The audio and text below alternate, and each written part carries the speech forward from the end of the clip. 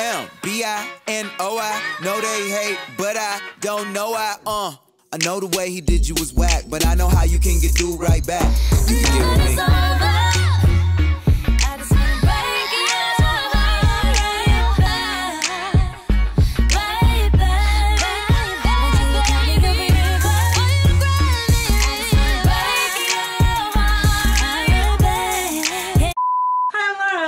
Josh, and we're the incoming. Welcome back to our channel. Hi, I'm Kilo. It's Kilo. Kilo's here with us today because we're talking about. LGBTQ issues. Yeah. Ah. Well, technically not really because that was part of the letter. We're talking about Lauren fucking her. Lauren Jauregui, my queen, my She came my out mom. and bitch, bitch, bitch, bitch. I'm so shook. ETW, I use they them pronouns and I'm agender. I'm your local queer. So, yes. And I am trash.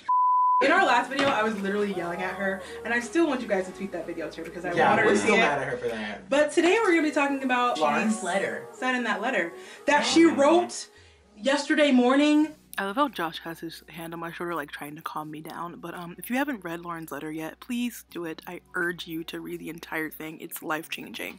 Before rehearsals and was like, "Oh, here you go, Billboard. Like, here's my letter that I just wrote. Um, have fun."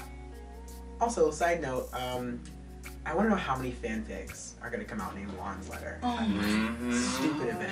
they're probably already like. They're already there. Yeah. Yeah, I guess it's. They're already there, but I guess they're and just And then, like. and also another thing, people are talking about, oh, Camren, Camren. I'm like, stop Yeah. making this. It's about only Camren. half true It's not about that. Yeah, it's only half true now. If Like- Camila comes out, which she probably won't, Yeah.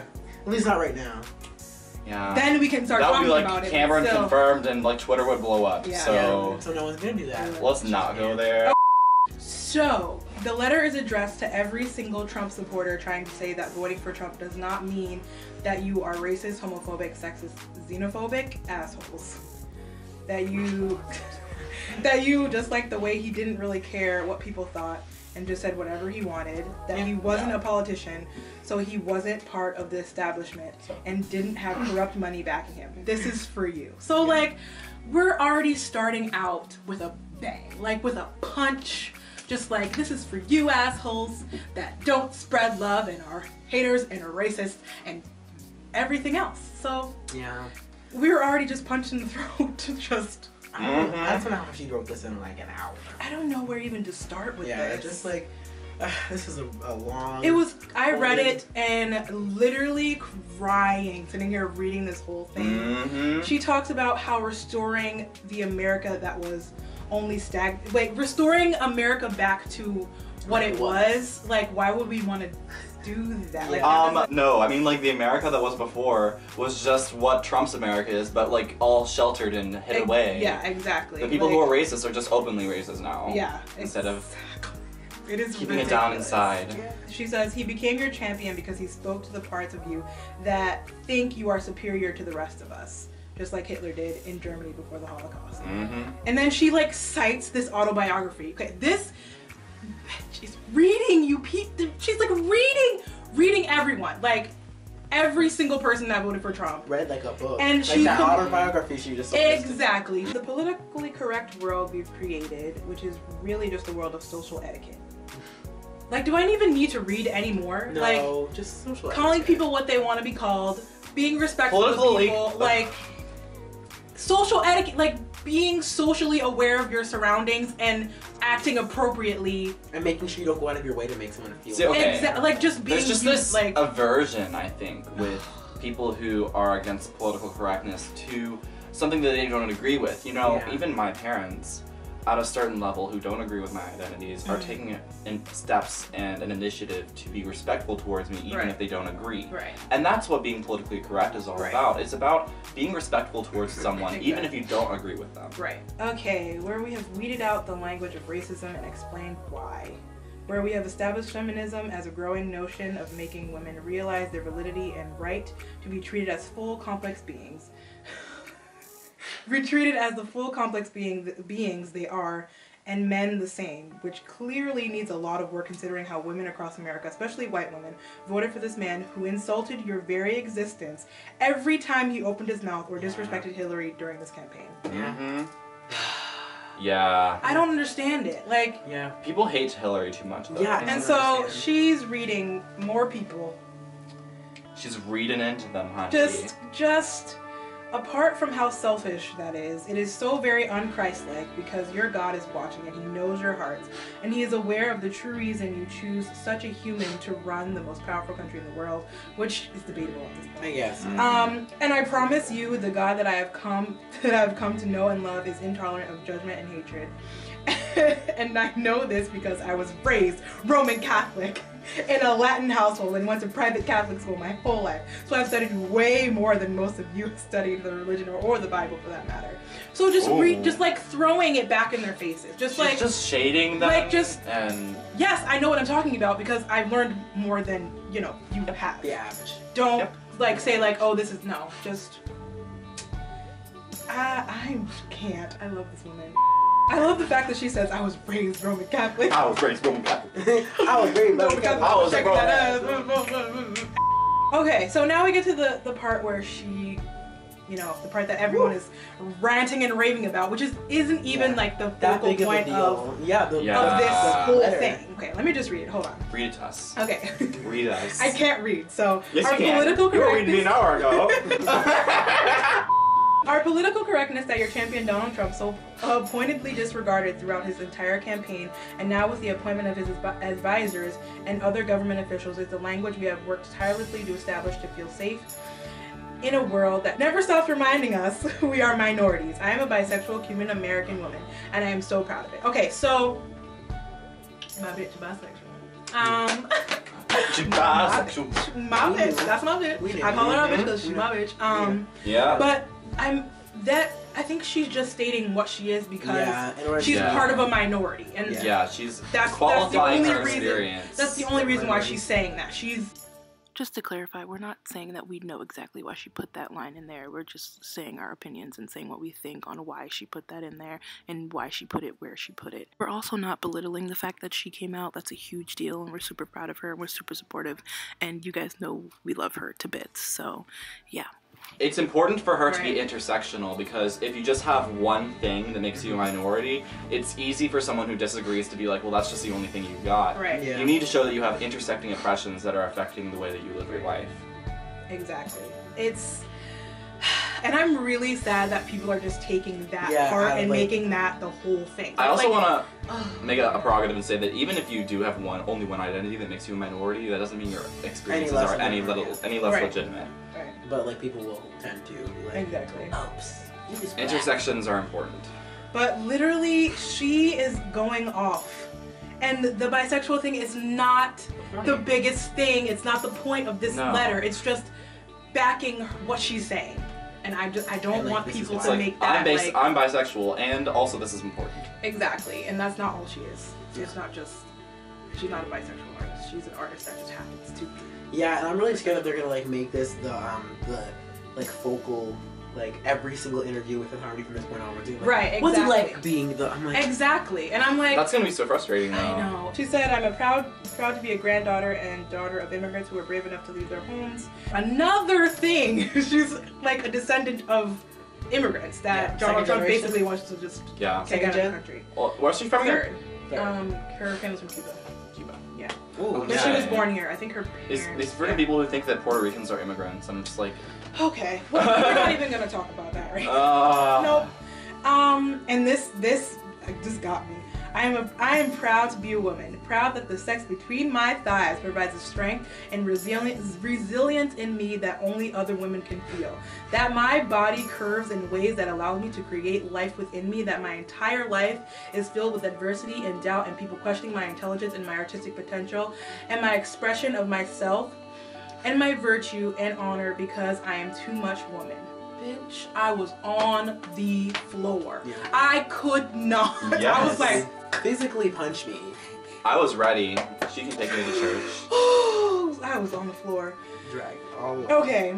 I also was uh, I identified with this line where she said, I am proud to feel the whole spectrum of my feelings, and I will gladly take the label of bitch and problematic for speaking my mind the way any man would and would be admired and respected for, For doing doing. the same. Mhm. Yeah, there's like so many think pieces out there written by like liberal men, and then like they're all like applauded Yeah, as like, being Oh, so. wow, Right. you're so Oh progressive." wow, yeah. And then when a woman does it, she's seen as whiny. Right. And Or when a black woman does it, which is Yeah. my experience, Extra. I am an angry black woman, and I have been called an angry, angry black woman before. So I don't, and and I would rather be called an angry black woman and speak what the truth Yeah. is than be quiet and Yeah. just be like, oh, you know. really hard to like to combat that like complacency because like that's like the first instinct is you feel like ugh whatever it doesn't matter anyway life is meaningless Right. but still like you gotta like Yeah. gotta say something This thing that another thing that got me that I tweeted about. I am also I also know that in my struggle of being a woman, I am so very privileged. Oh, I was born with a lighter complexion and green eyes, thanks genetics. So from that narrow from so from that narrow-minded perspective, I'm white. I have experienced the privilege those genes have granted me, and I am grateful and will continue to speak on behalf of women around the world and in my very own country who do not experience a fraction of respect of that respect because of the color of their skin or what they choose to wear or how their hair looks or how much makeup they have on or any other absurdity that we women are reduced to. honestly Okay, the feminism, but the white privilege though. The white privilege that she is preaching on. I was yelling. I, Ugh, it's I just like can't. it, it makes me so happy when like people who like because i mean obviously it's like one of those things where all the minorities are like this is a thing that exists but then everyone else is like oh no it's not so it makes you kind of like is it really am i just it's like, real, imagining this? friends. like am i imagining this and then like when It's people so from real. the when people from the other side are like hey yo this is also a real thing it's like it also shows you that like people who may be minorities but who can pass as white Mhm. still benefit from this privilege regardless Mhm. of how like and yeah, 'Cause I regardless don't- of how much you got in your genes, it's what you look like. Exactly. White privilege exists, people. I would try. Oh gosh. It exists. It is not my opinion. It is, I am not trying to force it on people. I am just telling you that white privilege exists, and if we don't point it out, Yeah, like I, I, I took a genetic test. Okay, for those of you who are like, I'm all white.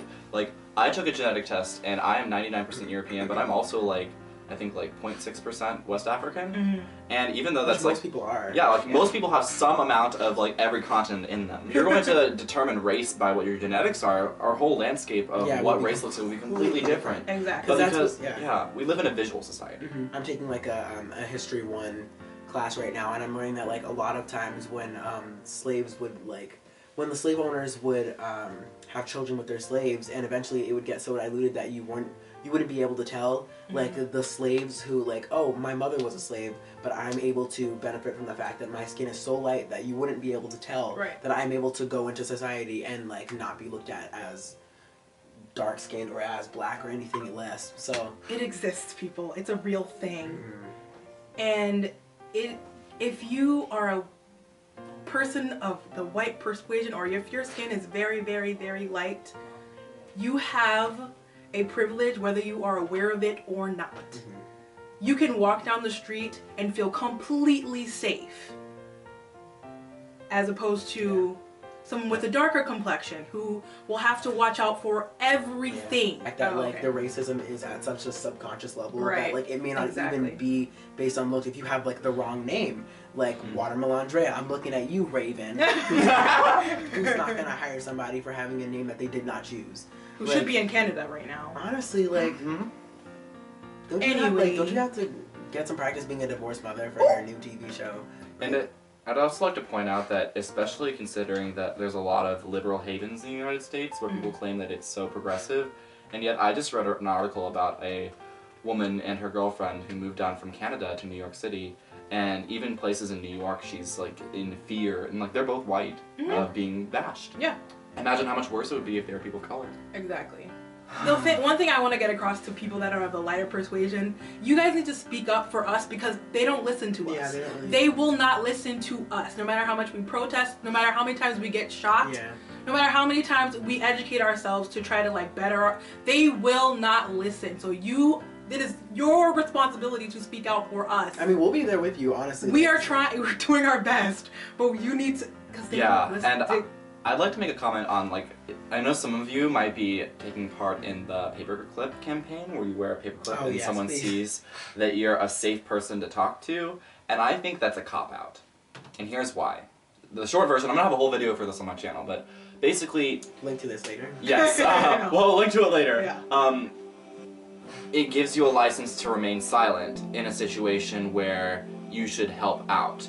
And that doesn't necessarily mean in an actual situation. Basically, when you wear that paperclip, you feel like you're doing something to help end racism, but really you're just wearing a paperclip.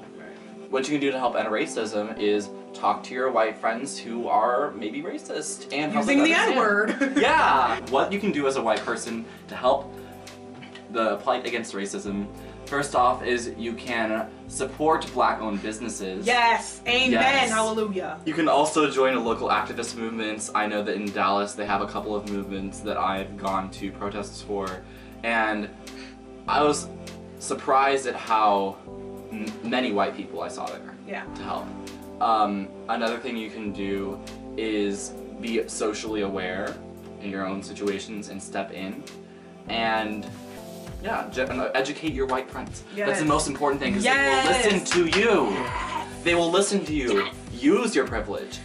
Uh, Recognize you have it, and then I'ma use your shouting. privilege. It's like, yeah, it's kind of like when people say, it's like when you become, like when you're put in the public eye, like kind of like we are at this point, which is like not even the public eye, right? Mhm. But like now we realize that we have at least somewhat of a platform, so we're not gonna let that like go to waste. Exactly. So anyone with any sort of privilege Hence should why we're not let this that go to waste. Right. Like, and also this was a, this video was not going to be about this originally. It just turned into it. Yeah. So last the last um like little section of this thing. If I could tell every Trump supporter two things, it would be to travel and read a history book. And she did this. Oh, guys. Look beyond yourselves.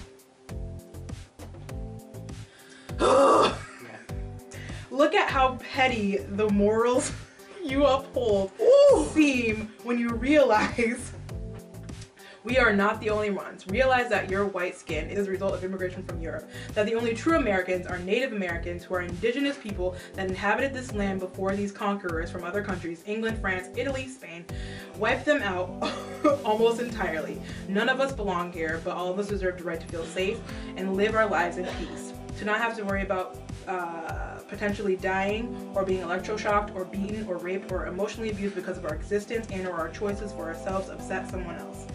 This is the world Trump is fostering. Yeah, which is again what a lot of Yeah. people don't realize. They're like, oh, I just voted for him because I don't like Hillary, but there's a lot more stuff That goes with into it. That. I s- like. I suppose there's also a lot of stuff that goes into voting for Hillary. Not my first pick. I'm sorry. No, it's fine. oh yeah, not my first. No, she pick. wasn't my first pick. The only reason I liked her was because she was had the highest chance of winning. Anyway, Yeah. Yeah. this is the division that has risen since the beginning of the campaign. We are not America invisible any indivisible any longer. We are united on two separate sides, love and hatred. Yeah. Literally, literally, yeah, like that is it. Yeah. That's why again I was like, I'm not even necessarily scared that he's gonna repeal anything. Like, um, he's gonna repeal what was it, Windsor v. U.S. or like, um, Marriage equality. Yeah. He or, wants to uh, repeal um, Roe Roe v. v. Wade. Yeah, like not even. I'm not even scared because like that's a, if we have another Democratic president, that's gonna go right back in. So like it's just four years of that. That's not what I'm worried about. I'm just like this is not the time that we need. Like it, I don't. I don't think anything's really gonna regress that much. I'm like this is not the time for like stagnant. Yeah, we need to continue to Yeah. organize and stay together. We can't stop here.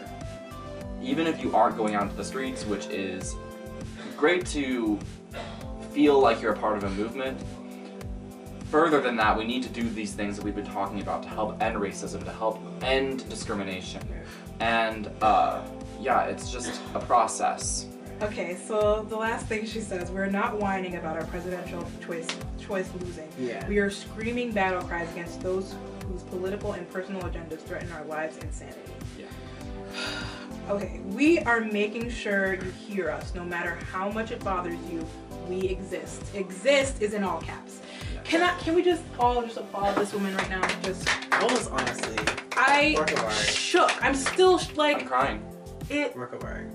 oh my god. In the words of Jazmine Sullivan, a masterpiece. masterpiece. Yeah. Literally, and the fact that she wrote this before she went to rehearsal. She's like, yes, "Oh." like it is the how Go about people, my merry way. I want to know the people that question her intelligence. Like, what do you have to say now? Like, Mm-hmm. and I also want to say, please, please, please, please, from the bottom of my heart, don't even know how to explain this. I just don't want this whole thing to be about her bisexuality. Yeah, don't make it about that because not they make it that's about. not what it's about. I'm actually- Yeah, I'd like to say that like she did a really, really good job of pointing out how it's not necessarily Trump himself that's creating racist America. Yeah. Exactly. It's that people white supremacists feel empowered by Trump's victory. Thank you. Just the fact that they now feel emboldened. They and people, yeah, they feel Mm. like, oh, because my president elect is can do this, can say this, I can go in the street and, And harass this and this, this. Muslim, this gay boy, this black man. I can it's and it breaks my heart that these women, these Muslim women, I know. and, are like, afraid to wear their hijab. It Terrible. breaks my heart. It's at, like it's the same with me. Like I feel comfortable when I'm expressing myself, when I wear makeup, when I wear feminine Exactly. clothing. And it's exactly the same for them. They're expressing their religion, they're expressing their beliefs. Right. And if they can't do that, I feel terrible. Guys, this is like taking a turn. I know. Anyway, I just want to thank Lauren Jauregui Yeah, for, for doing that. doing Thank you, this. mommy. If I, I I, if I thought you were of my heart. woke before, You woke now. thanks for watching. I love you guys. Spread love. Um, I almost started crying, but it's Oh okay. my gosh. I was okay. yeah. Yeah. I'm always ready. Thanks for watching. Make sure to give this video an average size, thumbs up, and subscribe. We make the videos every Tuesday and Friday. Make sure to comment because it gives us joy and happiness. So, uh, And this is Kilo. Yeah. Hi. They have a channel. as in grams of. Yeah, so like I do videos on Mondays and Thursdays. On Thursdays I do a series called Gender Funked where we talk about gender bending fun things to do. I do drag. I'm a performer. They need to come see me. I know Why haven't you you come see me yet? Because we can never. Because we're trash. I already told you. Honestly, that too. I know. And five, six, seven, eight. Everything's okay when you dance on the runway. Sassy. Yes, daddy. okay. I'm Lara. Hi, I'm Josh, and we're the incoming. And, And I'm Kilo. I'm sorry. It was that too early? no, I want to keep that in.